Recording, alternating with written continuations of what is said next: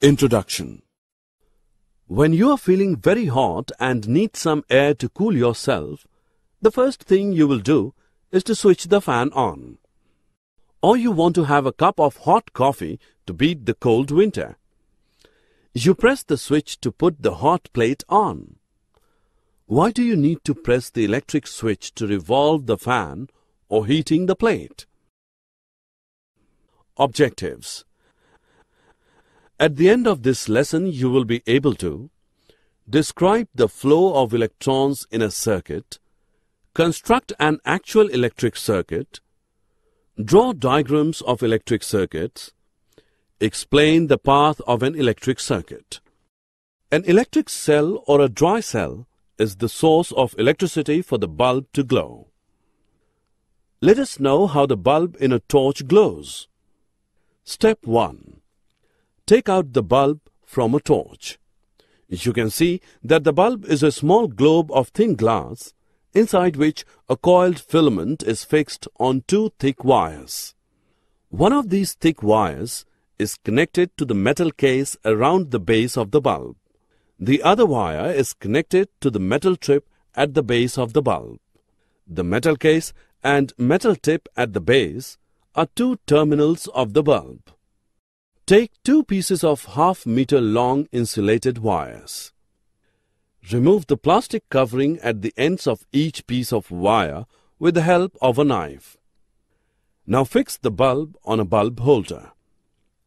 Then two screws on the bulb holder become two terminals. The insulated wires are connected to the two terminals on the holder as shown in the picture.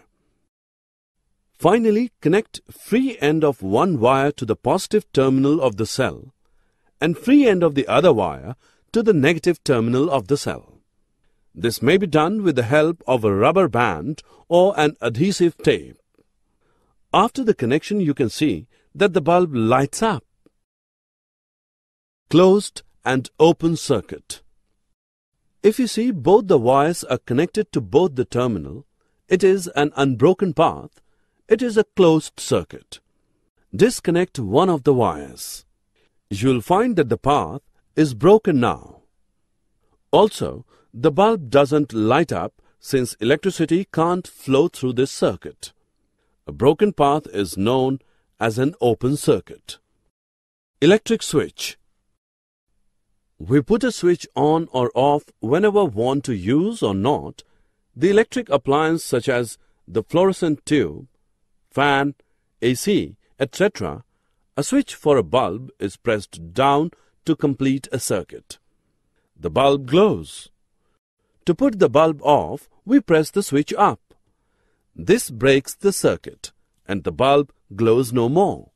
The switch is so made that under normal conditions, the circuit remains open. The current does not flow through the circuit.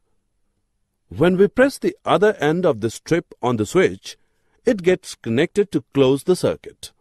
The current flows through the circuit and the bulb starts glowing.